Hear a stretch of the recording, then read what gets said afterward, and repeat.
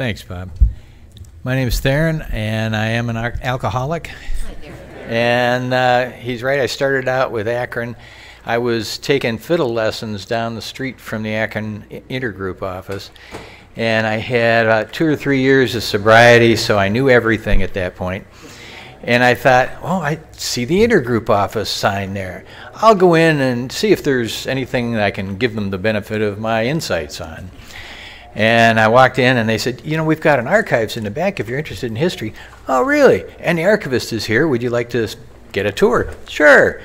So I went in there and I had at work as, as a chemist, I'd been working a little bit on one of uh, one of the projects I was working on had to do with uh, deacidification of books, and the project was being sponsored by the Library of Congress. So I went in in order to impress Gail because here's this good-looking young blonde woman, you know, like, yeah, I know all about book deacidification. She goes, really?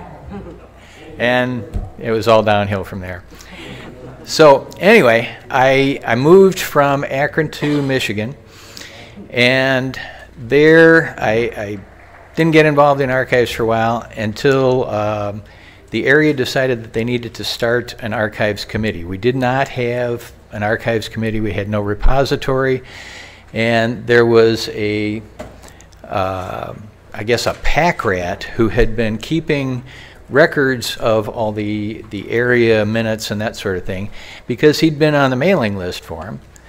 So he just kept everything that was mailed to him. Like unlike most of us who throw it in the bin, uh, throw it out and get rid of it, he just kept it over the years. So we asked him if if we could copy all this the uh, area minutes that he had because uh, we didn't have any of our own records. And he said, sure, yeah, yeah, no problem. So he loaned us box after box after box of these things. And um, at that point, I was asked to be the, the uh, archives chairperson. And I thought, I better learn something about scanning and classification. I'd learned about conservation some years before, Bob W. and uh, and Gail, and I, but I didn't know anything about actually setting up an archives. So I started doing some research on what does a professional archivist do, and it was rapidly clear that I was in way over my head. Because professional archivists, you know, mean, they have four-year degrees and they, they get into lots of detail. So I tried to boil it all down into what's the really basic essentials that we probably need to know. And having done that, um, I wanted to pass that along. This is kind of the distillation uh, after I got past the confusion stage, mostly, uh, of what I learned and what I went through in, in setting up the archives for Area 32. Um, so that's why I call it Taming Archival Collections. It's going to be about uh, description, classification, and then we'll get into digitizing archives. So, okay. Um, anybody here ever receive a box full of all kinds of random stuff? Okay. Some old timer says, "I want my wife's after me to clean out the basement," or I remember my uh, my sponsor had been a delegate and a trustee, and he decided it was time to clean out his stuff. He gave me boxes that look like this. So, what do we do with this stuff? Well, there's going to be probably several natural collections in that box. You sit down at the at the kitchen table or in your repository and, and you start pulling stuff out and they fall into several piles just kind of naturally. Well, here's personal correspondence, here's the area minutes, uh, here's some um, something that uh, the GSO sent to him. So we start out by uh, first of all getting a deed of gift, so we have ownership of it, and then start making piles. Um, these natural collections then will kind of determine how we deal with them. For example, the box boxes from my uh, my sponsor, who had been a delegate and a trustee, some of it was area minutes. We already had area minutes, and they were just photocopies and they were duplicates of things. So those I could deaccession. That's easy to take care of. Other things were his personal correspondence to people that he knew around the country. Okay, that's personal delegate correspondence. Other things were um, stuff that GSO had sent to him having to do with the General Service Conference. Okay, that might be another separate collection. So we classify these things and then describe what each one, each item is. Anybody here have a finding aid for their archives? You got one? Great. Sort of an index, uh, a written list of everything that you've got. That's the idea of of doing the description and the evaluation and using, we will get into the Dublin core system for naming and classifying. So then we evaluate what this stuff is. Does it need preservation? Does it need conservation? Probably most of the things that we have, the documents and whatnot, just need to be put into safekeeping somewhere in a acid-free folder, acid-free boxes, organized and put away. Um, the conservation stuff that we've talked about this morning and a little bit uh, in the earlier session this afternoon, that's for special cases, and that's, that doesn't occupy a lot of our time. And then we record what we've got and put it into our index, our finding aid, or you know, whatever you want to call it, so we can find things. The, the area that I was in in Michigan and the area that I'm in now, the finding aid was the archivist. Is like, you want to know something? Sure, ask me. um, that's in one of these boxes, uh, you know. Uh, yeah, I remember that. And maybe he was right, and maybe we just searched for several hours through the boxes. So the idea of a finding aid is to know what you've got, where it is, and what it pertains to. The Dublin Core metadata is a set of 15 descriptors and it was agreed upon by a bunch of archivists and librarians that got together in a meeting in Dublin, Ohio. It's not from Dublin, Ireland. Uh, Set it down now. Try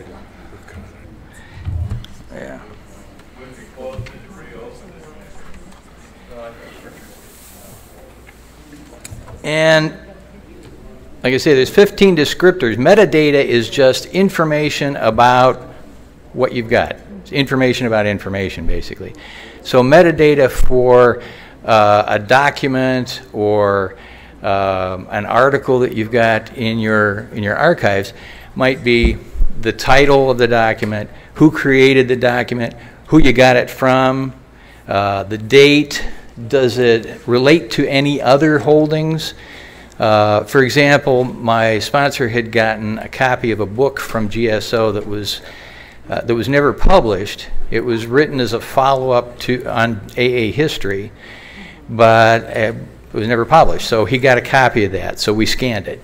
Then there was also correspondence relating to that book.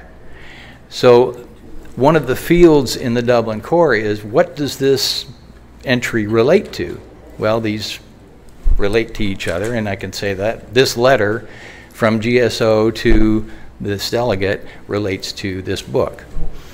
Um, there are some, hey, how'd you do that? It's a miracle. You know, what, what am I using to change words now? You can use these. Okay. Thank you. Thank you, Justin. Yeah.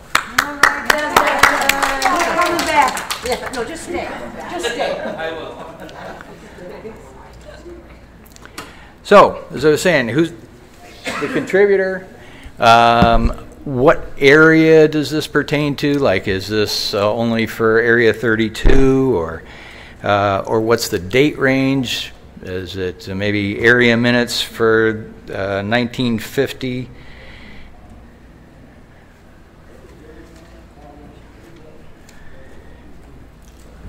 Uh, a description of what the what's in this the format, is it a document, is it a digital file, is it tape recording?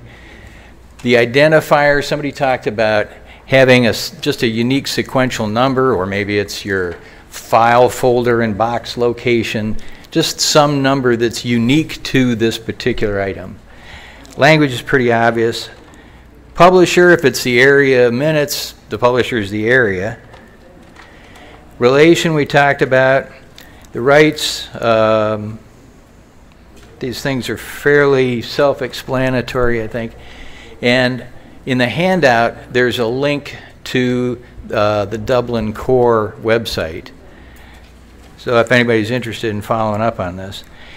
There are some additional descriptors that we might want to try adding to this because they're not alcoholics and there's some things that are important to us. So things like, is this, is there an anonymity issue in this? Are there last names in this document, right? Any restrictions? Is this, somebody gave this to me and said, you can have it for the archives, but don't show it to anybody until after I'm dead. Okay? Conservation. Is there any repair work that needs to be done to this? Or have we already done repair work and we need to record that so we know what's been done? Then what we do is we put that information into our index, our finding aid, our whatever you want to call it, our inventory of what we've got. And uh, I think Vicki talked about she's got it on paper. Paper's fine. Spreadsheet is fine. There are archival databases if you want to get real fancy with it. But basically, it's, it's a sheet with columns, and at the top of each column, you put one of the descriptors. What collection is this from? What's the title? What's the subject? What's it relate to? What's the date?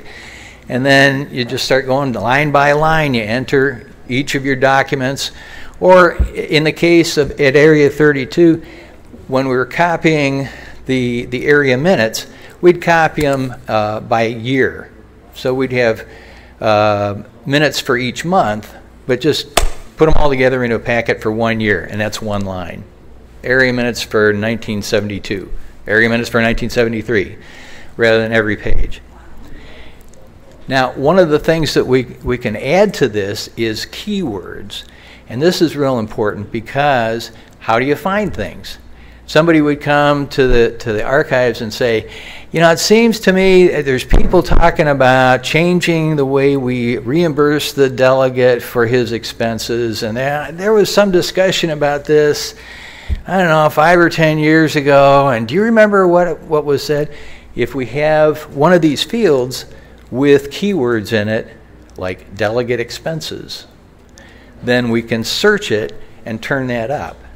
And even if I've got them clumped by uh, a whole year's worth of minutes, that's way better than going through like 10 boxes of stuff. Because I can go through one year's worth of minutes pretty quickly. So here's a, a, list of some ways to, to do this finding aid. Paper list, it's cheap. You can go down to the, the office supply store and buy a ledger book. Um, it's easy to use. You don't have to train people too thoroughly on how to use paper and pencil. The drawbacks are it can be difficult to search. Even if you put keywords into it, you're going to have to scan down through the columns just looking for, no, no, that's not, no, that's not it. An electronic spreadsheet takes you up one level. If you've got, if the archives has a computer, there's probably, you may have Microsoft Office on it, you've got Excel, there are free office suites, OpenOffice or LibreOffice, where you, you can get the free spreadsheet. Or you can, if you've got a, an internet connection, you can go on to Google Docs, Google Documents, and use their spreadsheet. Um, it's searchable then, which is a big advantage. Uh, they're easy to maintain. You can make copies of it. You make backups. Uh, it may require a little more training if all your volunteers are old retirees like me, some of us maybe aren't quite as techy as some others. If you get some young volunteers, you get some young sponsees in there, um, they probably are way ahead of us. Then finally, there's electronic database, and there are several of them available. Some of them are free if you have server space to install them on, and the all the software necessary to run a web server. Uh, some of them are available where they'll do the web hosting for you, uh, but those cost money. They're not only they not only can be pretty expensive, they can get really complicated, and I think unnecessarily for our purposes, too deep. Uh, they got lots and lots of bells and whistles And I don't know how to use all that stuff. I just want just a list. Which brings us to if we're going to do this electronically, we want to make backups. Right? Whether it's on Google or you got it on Excel or whatever, make a backup. It's easy to copy a file. And that way, if you forget the password or somebody takes the computer home and, and, and loses it or whatever, you've got a copy. At least, you make at least two copies and one of them on different media, which means like put, put a copy on a thumb drive. You don't just make a copy on the same computer. If you've got your catalog on paper, you can still copy it. You can slap it down on a photocopier and make copies that way. Yes, sir. You have an external hard drive with a time machine that backs up automatically. Yep, the, the comment is if you have an external hard drive with an automatic backup program like Time Machine, then it makes a continual backup automatically, and that's, that's a great thing. It's helpful uh, to take that hard drive off-site. If you have two external hard drives and you can swap them out, I'll give you an example. My home pictures, my family photos, I keep on an external hard drive, and I take it into the, the bank safe deposit box, and I put it in there, and then I have another one that's attached to the computer that's the continual update, and periodically I switch them. So I've always got one copy in the safe deposit box. So if my house burns down, I don't lose everything. I suggest you make friends with your website committee um, because if we have displays that are traveling and going around to um, state conferences, district meetings, whatever, we can also put some displays on the area website, uh, ensuring that we don't violate anonymity by showing pictures of, of members or last names. But this will help to increase the awareness that people have of, of the archives, and it'll get you more volunteers and more support when you go for a budget. Tell people what you want help with because somebody's going to get turned on and say, wow, old, old timer, interviewing old timers, that sounds like fun. It is fun. Or, boy, I really want to sit and remove staples all for hours. there are people, there are, there, there are people. Now, Digital archives, the way I got into digital archives was I said, we had no archives at all in Area 32. We got digital archives because it was all we could get. We made we scanned copies of the uh, the minutes and, and the group histories that this pack rat had kept. Um, and when I when he offered to let me scan them, I thought, okay, yeah, I'll make uh, make photocopies. But then I've got one sheet of paper. With the same amount of exposure, the same amount of work, I can run them through a scanner and I can print copies if I want to, or I can save the electronic copies and make copies of copies of copies and, and, and have a lot more secure and have backup. So we bought a scanner, and there's basically two kinds.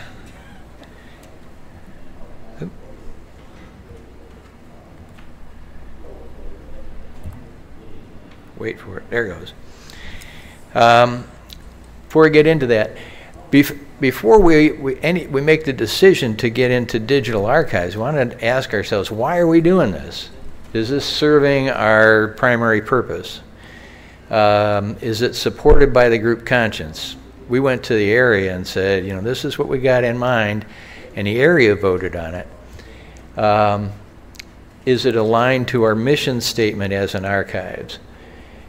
there's definite disadvantages to having digital archives, and we want to weigh that against what are the, the reasons for going ahead with it.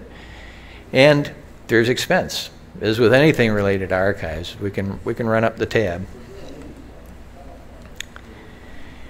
So the goal was preservation of the records of the organization. What, a, what an archives does, the most basic definition of an archives is it's the records of an organization. So that was our goal. To act as a reference, to preserve our history, and, and to educate the members. So then we had to define the scope. If we already had paper files, do we want to scan all the paper files we've got? You know, in Area 58, we've got a repository that's jammed full of boxes of paper files. Is there any point to scanning all of that stuff? Probably not at this time. In Area 32, we didn't have anything. The only, the only holdings we were going to have was anything that we scanned. So yeah, we'll scan. Um, there's such a thing as a born digital um, document or item. Born digital would be um, something that was created on the computer, and it might be uh, backups of your area website. Uh, it could be digital recordings. Um, it's anything that was that was never on paper to begin with. Our uh, our area minutes are actually born digital. They're printed out and mailed to people, but they're actually born digital. Picture. Picture. Pictures. Email. Yep.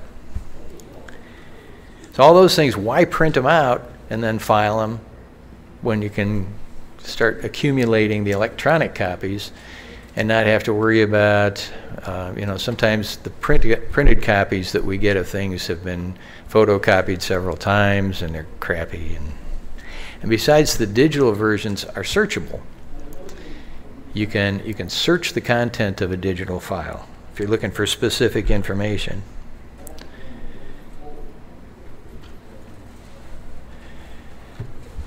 Some of the pluses and minuses we came up with. Advantage to uh, digital archives doesn't require any space.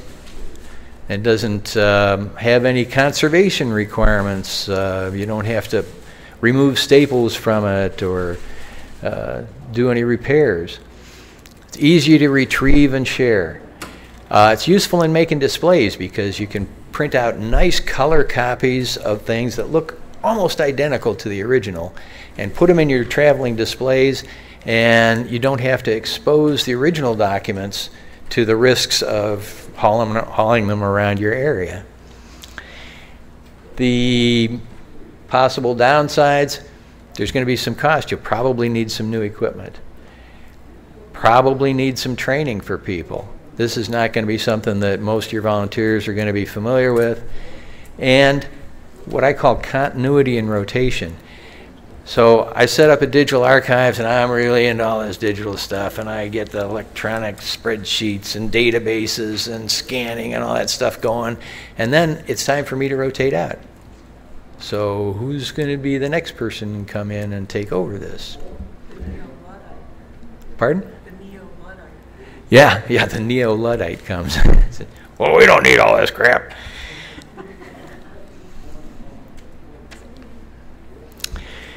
So, do we have one of these guys available?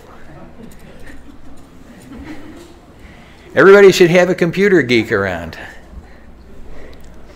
Did you ask to put my picture on? That's Bob when he was a child. he was about five at that point. So you need a, obviously you need, you need, a computer and you need the scanning software to run the scanner. Um, we bought a, a, a, sheet feed scanner to run the area minutes because it was piles and piles of paper and it was all pretty flat. So we just run it through the sheet feed and it go shh, shh, shh. And it's great. Didn't take much time at all, except I had to pull each sheet out of the plastic protector sleeves which was tedious, and take staples out of some of them. But, you know, once that was done, they went pretty quickly. A flatbed scanner, however, some of the things that this pack rat had were like badges from meetings. This is, does not feed through a sheet feed scanner, believe me. So if you get a sheet feed scanner, you want one that's easy to open up and remove jams. You also want a flatbed scanner, but the good news is that a lot of computer printers are these all-in-one things where it's a, printer and a fax and a scanner all together. So next printer you buy, if you don't have one like that already, next time you need a printer, think about a three-in-one. You need backup storage media. We talked about external hard drives, thumb drives, uh, maybe cloud storage. You need a secure storage location for your media. Okay, we don't need a repository building necessarily, but if we back everything up onto an external hard drive, where are we going to put that? Maybe into a safe deposit box, maybe we take it home. It depends. It's up to the, the group conscience to figure that out. And as I said, tech capable staff.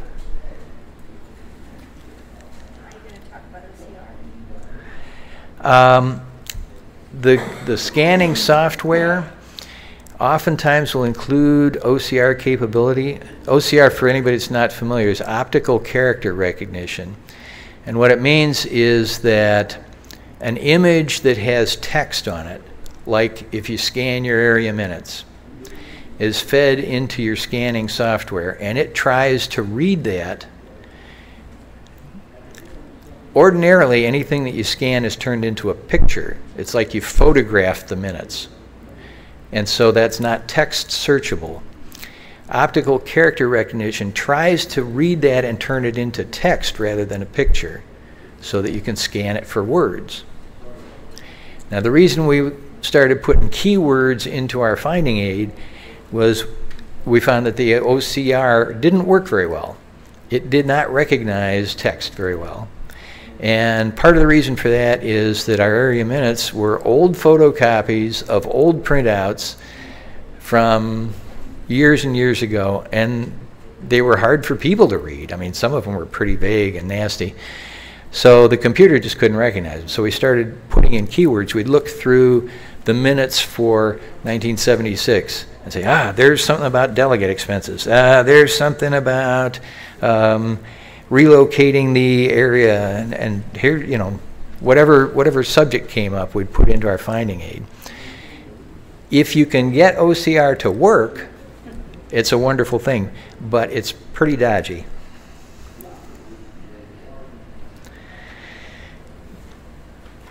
Other things to kind of keep in mind is that if we scan everything and we have all these images electronically, it's real easy to make copies and send around and share them, and then we have the real potential for anonymity breaks.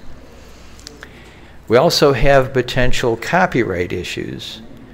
Now, in the case of your area minutes, the copyright belongs to the area, so probably no issue with the area archives having a copy of those. With other things, if it's uh, personal letters from people, then we don't own the copyright. And Don will be talking about copyright issues tomorrow.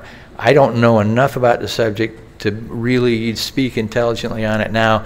The only thing is we need to know to be careful how we handle things that we get from other people.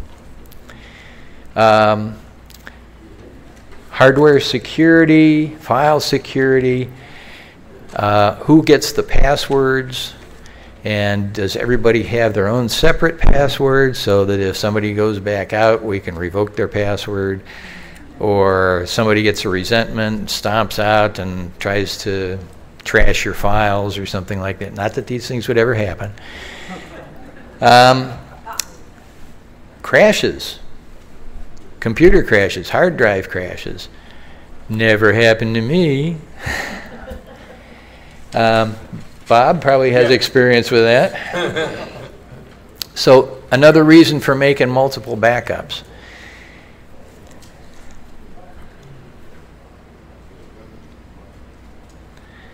Oh, there's a there's a picture of the sheet feed scanner we bought. It was really nice and slick, and it folded up into something the size of a loaf of bread but it was expensive. Branding?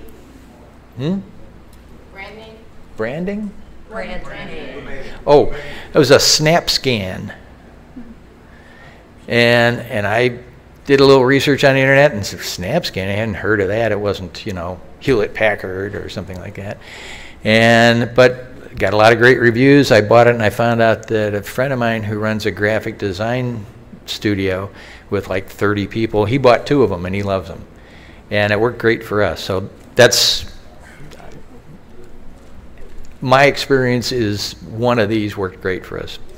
Take that with a grain of salt. Is that because it scans both sides at one time? Yep, scans both side both sides simultaneously in color, and you can set how much resolution you want.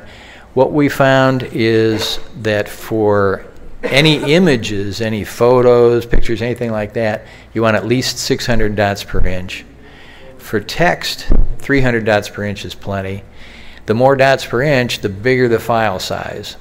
So if you scan a photo, would 1200 dots per inch be better? Sure, but it's not that much better, and the file size is four times as big.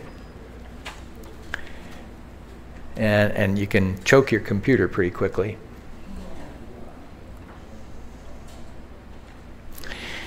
Yeah. How about lifespan on an external hard drive?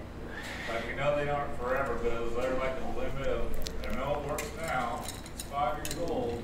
Is there a point where I should start thinking about getting rid of it anyway and changing it for another one, or is there any?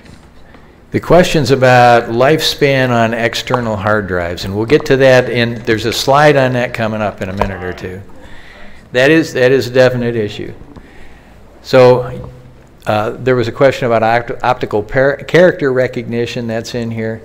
Um, scanners are often bundled with Adobe Acrobat, and Acrobat will do OCR, or it will try to do OCR, but in my experience, it doesn't work all that successfully. I went to the Ohio Historical Society, and they were doing a scanning project on Civil War records and applying optical character recognition to that, to handwritten records from the Civil War.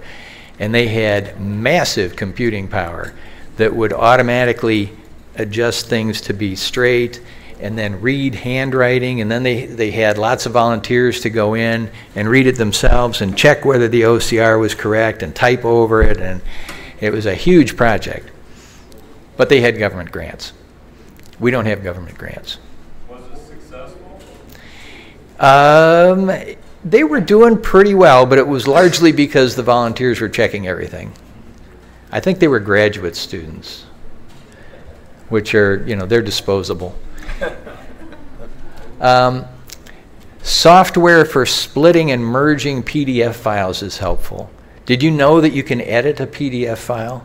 You can take pages out of it, put pages in. There is software for that. Some of it's available free.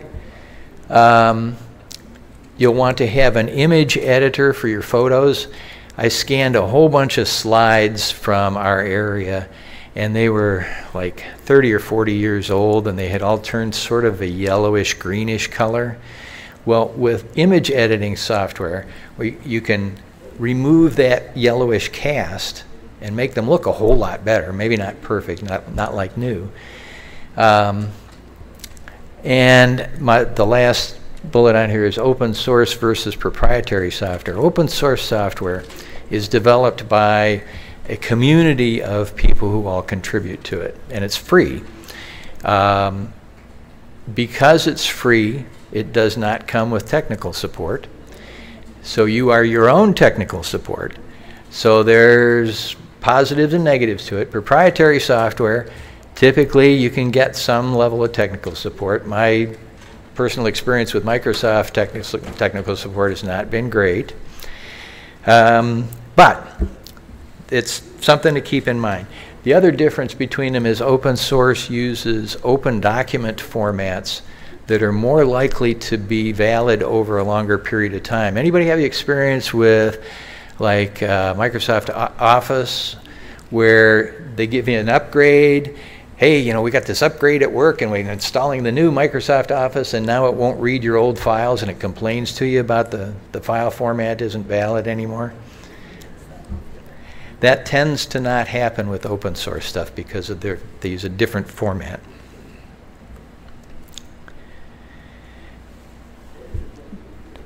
As I said, for documents, for print documents, you want 300 DPI or better, and save them in PDF format. Uh, this is what's recommended by uh, the National Archives and the uh, Library of Congress.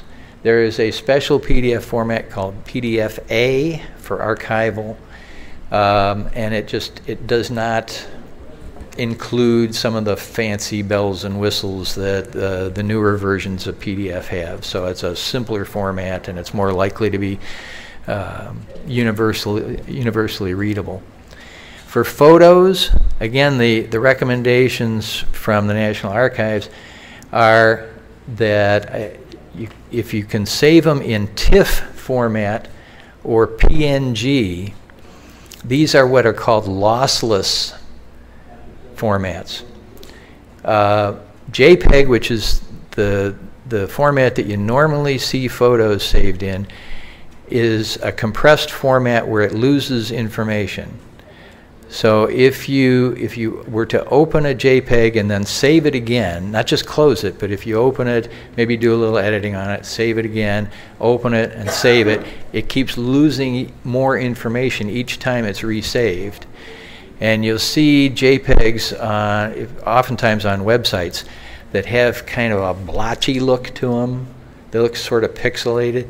That's because of this compression. Now the difference is JPEGs, because of their compression, are going to be much smaller file sizes. TIFFs can be huge. So for a nice photograph, your JPEG may be 2 megabytes, 4 megabytes. A TIFF will be 20 or 30 megabytes. You got to balance, you know, how good does this need to be versus how much space do I have and how much can how much storage can I afford. Same thing for audio. There's lossless audio formats. Like WAVE is probably the most universally familiar one. And the lossy ones, MP3, uh, which is the most popular one. And MP3 is, again, a much smaller file size than a WAV file.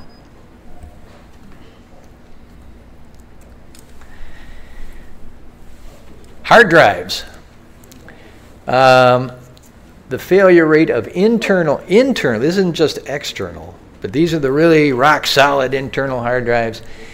Um, I looked up a whole bunch of different references on this, and there wasn't a whole lot of agreement. There's a wide range of failure rates depending on who did the testing and who the manufacturer was.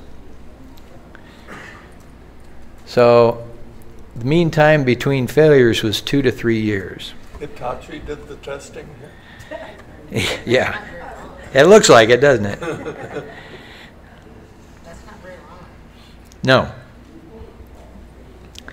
And some of you may be old enough to remember when you could count on a hard drive crashing pretty much annually when they're new. They're doing much better than that, but you shouldn't count on them being forever. A few years, and it's time to make backups and make sure you got copies of everything because it, it sooner or later it's going to crash. So is that scale in years or percent? I couldn't quite read the side of it. Oh. Is that zero percent, two, four, five? That's percent. Seagates don't come out looking real good, do they? No, I was kind of surprised actually, and that, that great of a difference. It also depends on how they're used Bad. though.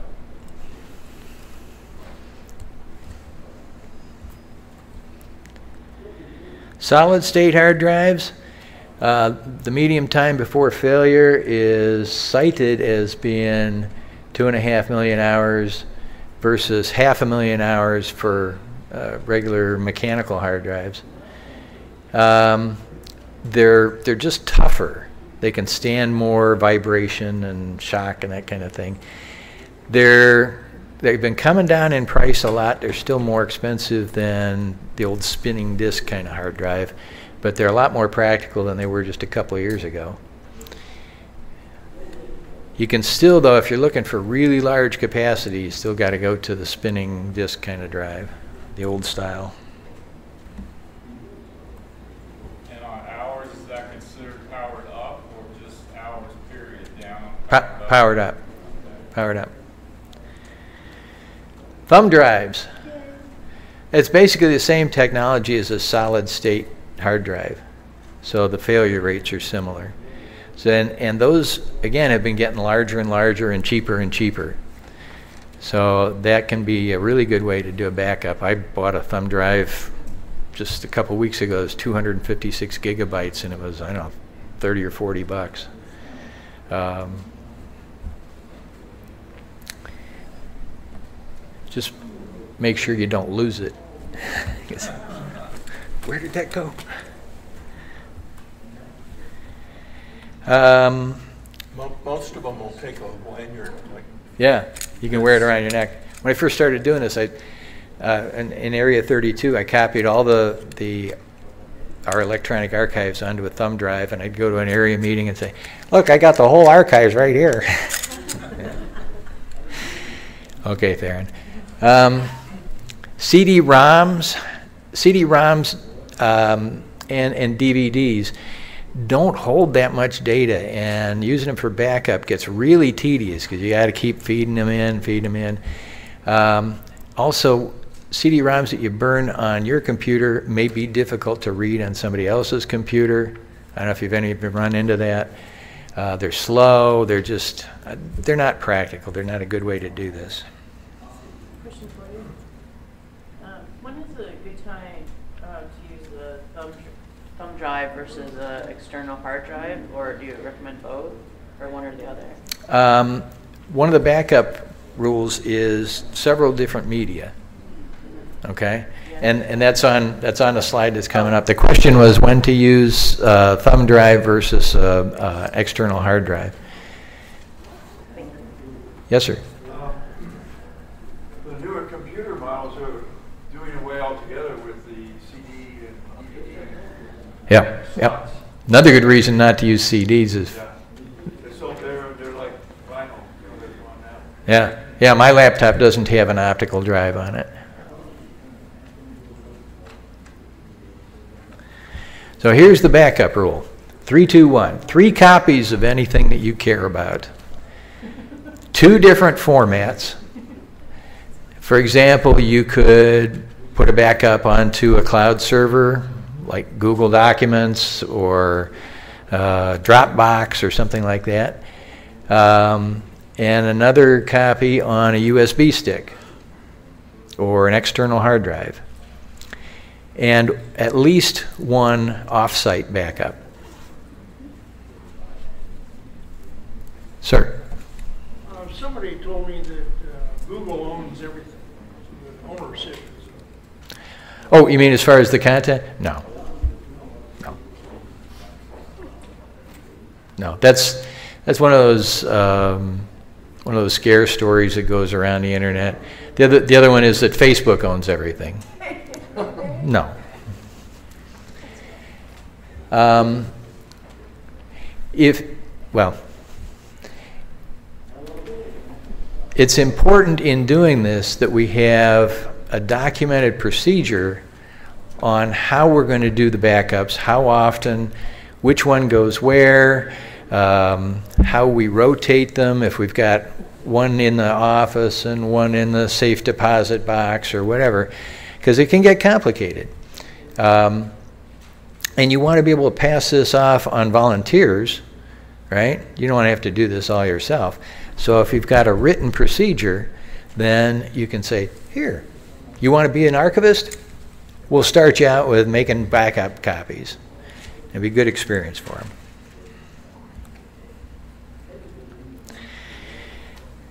Little on backups. Backing up your laptop to an SD card in the same laptop is not a backup.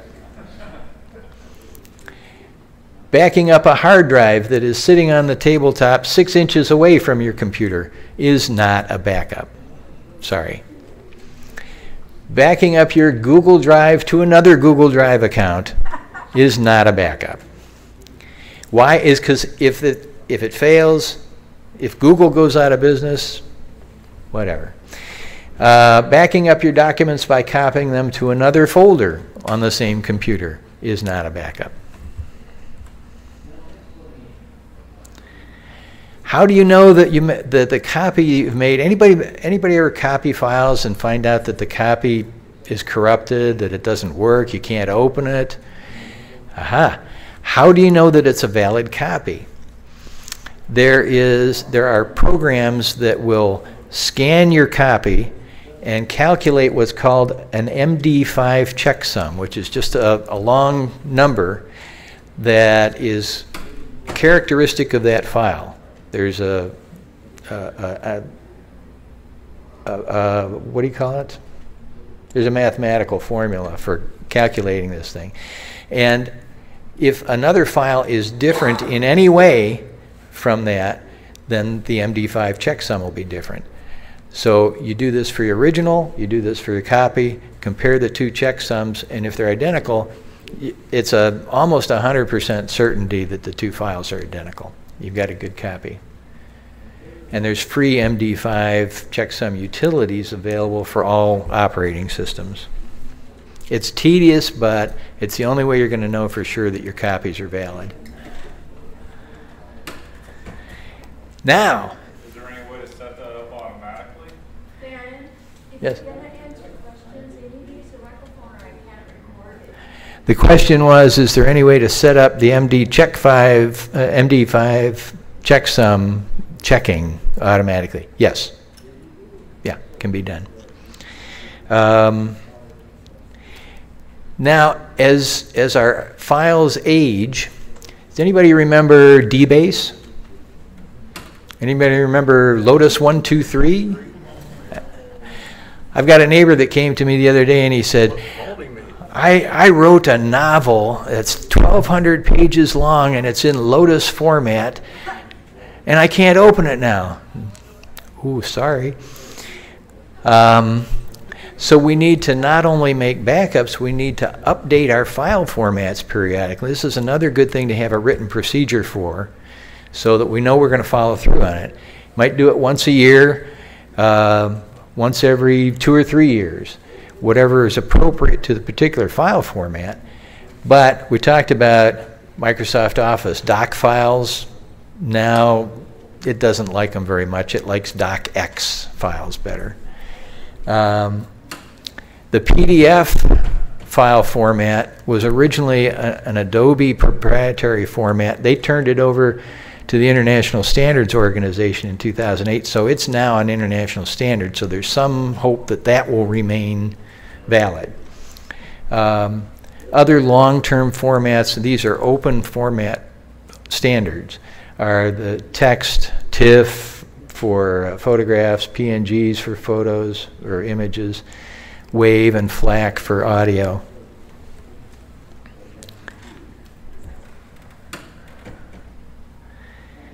So for cataloging, we talked about using a simple spreadsheet. Um, there are a couple of um, archival databases that are available.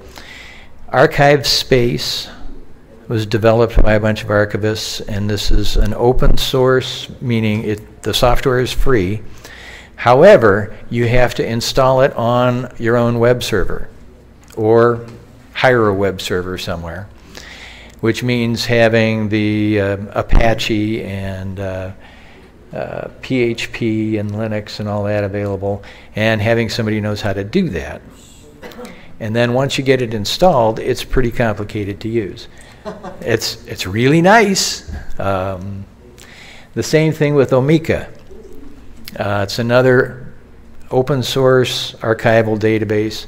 These both have web front ends, so if you want to create a website for your, uh, your archives um, and create um, data entry forms that your volunteers can type information into and all that, they're really nice, but they're a lot more complicated.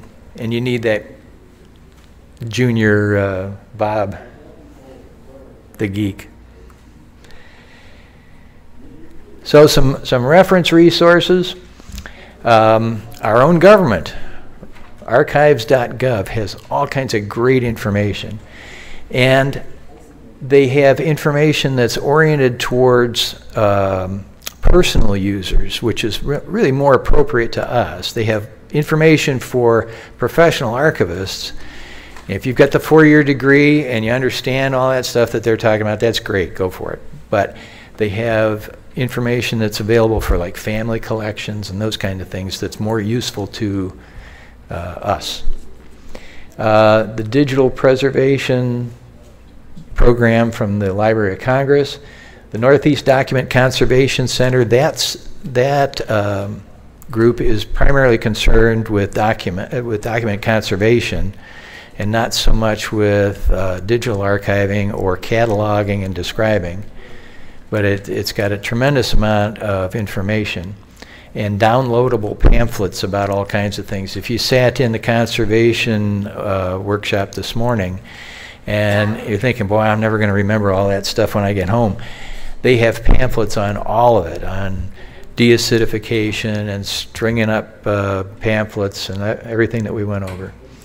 And what I found when I was in Michigan was I joined the State Historical Society, and they were great. They had their own workshops, and they shared information freely and provided a lot of support because a lot of those state archivists and state historians are in kind of a similar situation. You know, the guys with the County Historical Society, and they've got a small house in a small town, and it's the, the records of the early settlers of that small town.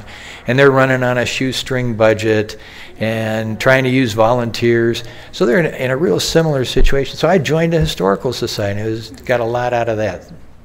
So something you might want to look into.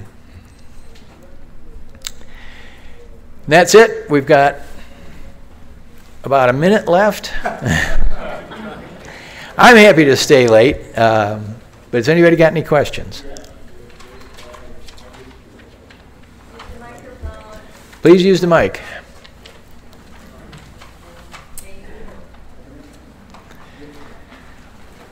Wasn't there also a software program called Museum Arch or MuseArch or something? Oh, yeah. And for like 20 bucks, you could get the super duper for archives? I use it, Muse, MuseArch. There you go. M-U-S-A-R-C.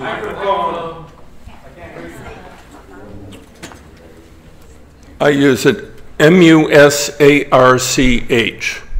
And if you Google that or just put a dot com after it, you should be able to find the stuff. It's not too complicated, not too great, but uh, good enough for our purposes.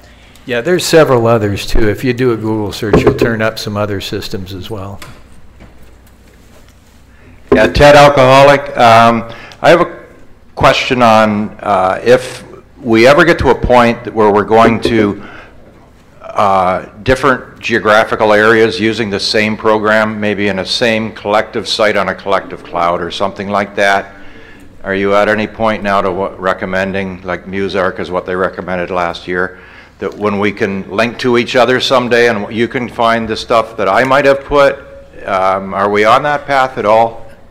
Not to my knowledge. Okay. But the, one of the purposes of using the Dublin core descriptors is it all, it's, puts all our information into the same kind of format so that if we ever decide on standardizing on a particular archives database, we can suck it all in using the same kind of descriptors because they'll- pretty much all recognize the Dublin core.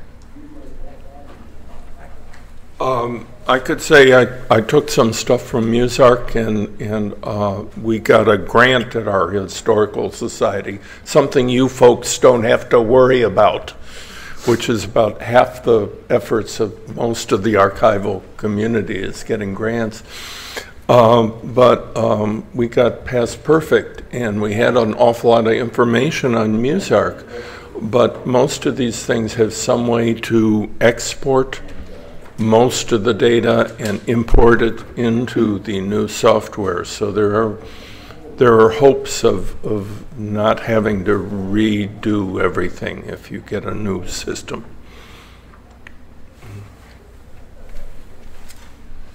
Uh, my is Lila, I'm an alcoholic, uh, Area 50 Archives Chair.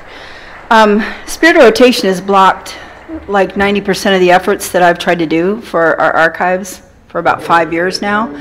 And so um, inventory control and the way that that's being used, um, is there anything that happens this weekend that really covers uh, how it is being used by the people that are attending this um, program this weekend? How, what's being used? Uh, Inventory control, if people are using um, electronics, or if they're using paper systems, or what it is that people are really using these days for smaller archives and uh, larger archives displays, of course. Um, By inventory control, you mean, Uh, You had different types listed, paper, Oh, or, uh, or just a um, sheet, a a chart, Just or just a database. like I- an index or a I tried to move us to database and I almost got drowned. Um, because they, they really believe in the fact that spirit, in the spirit of being able to rotate out, we need to keep this in the most simplest form possible so that somebody with no electronic behavior whatsoever has the capacity to take it over. So is there anything here that, that uh, goes over how it is kept and what kind of inventory processes people are using? I don't think we have a sense of what's in use generally. Um, I mean, my sense of it is that it's really scattered and not a lot of electronic listings, um, and not a lot of paper listings. I think there's a lot of archives that still just use the archivist as the inventory control. Oh, I know where that is.